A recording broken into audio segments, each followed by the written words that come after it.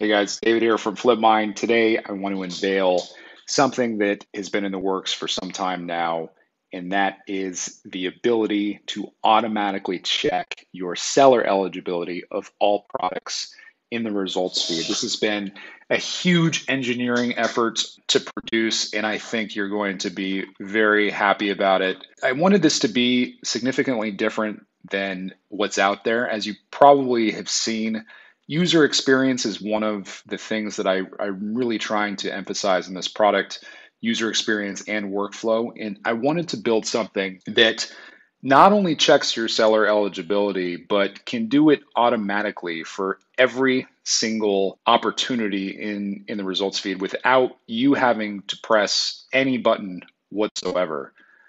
So let's see what that looks like.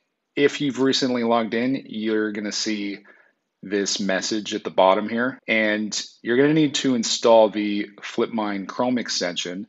This couldn't be built without the Chrome extension. It's necessary the, the way that this needs to work. So go ahead, click the install button. You're going to see a window after that for the official Flipmine Chrome extension. Go ahead and just click add.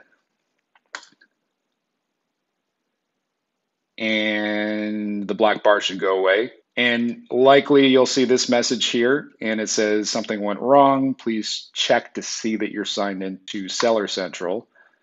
So let's make sure we're signed in. And then we'll click retry.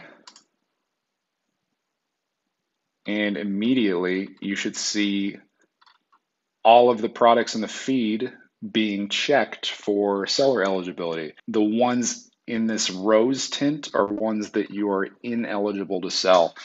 And it, it checks against condition too. So let's say that you are not able to sell the new product, but you are able to sell the used product, it, it takes that into consideration. Um, if you can't see the red tint, it's probably because your monitor hue is a little bit off. So make sure that is adjusted. And you can see this, this really just happens automatically. You can scroll through your feed you can uh, change your results and immediately, you know, it just starts working again. Super, super powerful tool. I think it's going to save you a lot of time. If you want the items to disappear from the feed, just click this purple remove button and they will disappear.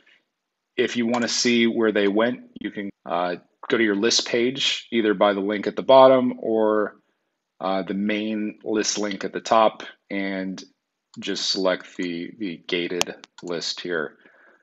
That is about it. It's super simple to use. You just need the Chrome extension. And again, I think you're really, really, really going to like this. I know I have. And uh, please let me know what you think about it or if you have any other product suggestions. A big part of this tool has, has come from user suggestions. So please let me know. And if you're new to this channel, please go ahead and smash the like button to see more videos from, from Flipmine as well as subscribe to the channel. Thanks, and I will see you next time.